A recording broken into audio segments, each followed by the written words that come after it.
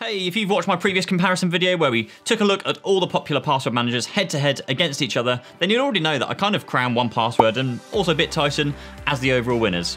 So in this video, I thought I'd go a little bit deeper into one in particular, and that is with 1Password families to like really get into the guts of this offering and talk through my likes and dislikes and, and also finish off with a special discount, which will be in the description below if you just want that. This isn't a sponsored video, they, they haven't paid me to say any of this, but just very selfishly, number one, I genuinely do like this product.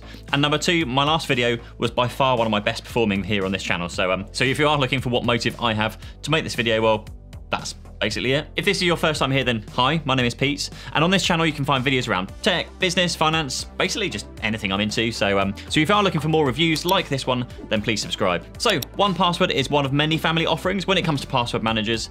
And getting straight into this, I will say that personally, I found 1Password to be one of the best out there. I tested quite a few of them last year, from like LastPass, Keeper, Dashlane, and a few others. And if you want to watch some of that, then uh, click up here and down below. So first up, what is the 1Password family subscription?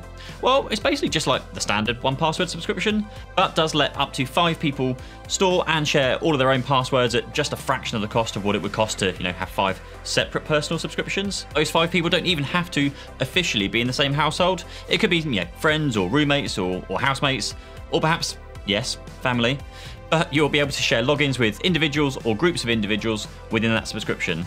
And if there are more than five of you, then you can just add additional users for like a, I think it's like $1 extra per month. The way 1Password works with families is with vaults. So you have a personal vault which stores your own passwords, and then you have a shared vault which is created by default when you sign up for a subscription. And by default, everybody in your family will just have access to these passwords in these vaults. But you can also go ahead and create other vaults that you want to separate maybe your data or share with only specific people, and you can then move passwords between them like effortlessly, super clean, easy, quick, just just no issues there whatsoever.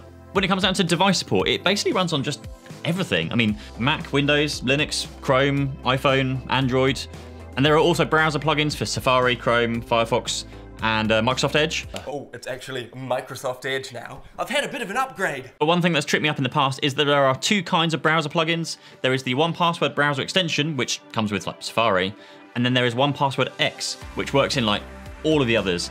And basically, go with 1Password X. It's so much more functionality in there. You can do a lot more with it. So my recommendation is outside of Safari, go with 1Password X. Onto the features, and some of the features that I love about this are that you can show passwords in large type, which basically pops the password up out of the password manager and it floats it on top of the other window so it doesn't get lost.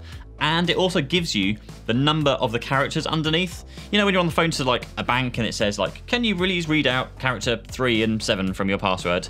Well, this makes it super easy to quickly pick out character three and seven. And I absolutely love this. It's not something I've come across with many other apps. Maybe it any other apps. You do also get one gig of encrypted cloud storage for your documents, which again you can share, but to be honest, I don't personally use this as I share that within my own Google and Microsoft cloud subscriptions. Speaking of which, video that compares all of those here and here. But this storage is geared more towards, say, I don't know, if you want to store a copy of like your driving license or your passport, maybe bank finance or like investment paperwork. You can use 1Password as the 2FA generator for those websites that need 2FA access. And with 1Password family subscription, you can also share that 2FA access, which is really unique actually.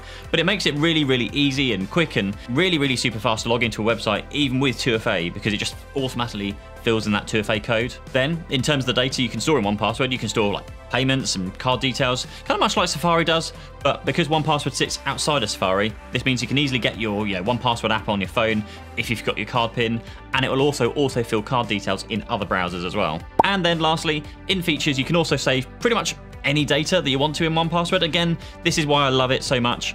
Custom fields are just a case of hitting like edit, typing in the field name and entering basically whatever you want to store. You can also add tags, notes, link passwords to others, and upload attachments, just all of the things. When it does come to security, it's basically the same as personal plans, but with 1Password, you have a feature called Watchtower, which basically just looks for leaked passwords online and, and warns you if they have been leaked, but it also prompts you if you're reusing passwords on various different websites or if you're using any weak passwords, which again, all good reminders to make sure that you're being a bit more secure and careful with your passwords. Now, something I do kind of secretly like here is that I like that 1Password isn't trying to make this service sound more than it is by adding those words dark web dark web. Dark web. The dark internet. Dark net. The dark web.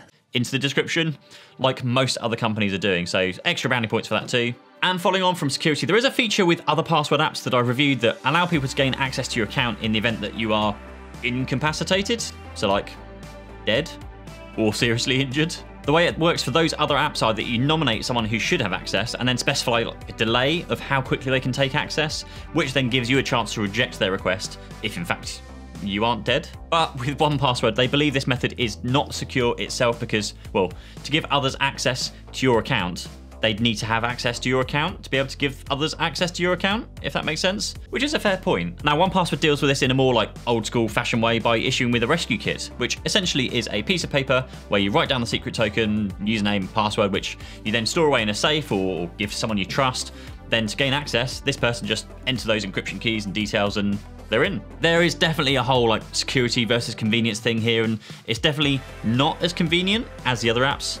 But I can't really argue it definitely is more secure. And we move on to backup and recovery because have you ever been in those situations where you maybe like change a password and then fast forward a month or two, try to log in and then realize that the password change didn't actually work, but your password software only has the newest version, which means you're now locked out. Well, this happens to me more times than I'd be willing to admit. But with 1Password, you can see previous versions and recover deleted passwords for up to a whole year. So that is a really handy feature, as you can just go pull that old password back out again and, uh, and get back into things. And then finally, we come on to support.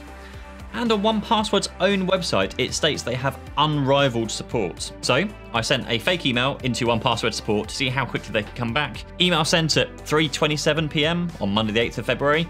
Response and the fix came back on wait for it, Monday the 8th of February at 3.42, a huge 15 minutes later, which is just fantastic. I then also replied back to that email to ask for more information, and then another 30 minutes later, another reply. And this has been consistent with every interaction I've had with 1Password over the years. I'm never left waiting, and, and something I'm actually really, really, really looking forward to, to testing when I do my next round of password comparisons. Pricing wise, you are looking at $4.99 per month for a family of five, but before shooting this video, I did contact 1Password to ask if there was like any form of discount that I could get for people watching, and they happily provided a link that gets you 25% off a family subscription. So just click on the link down below for that one.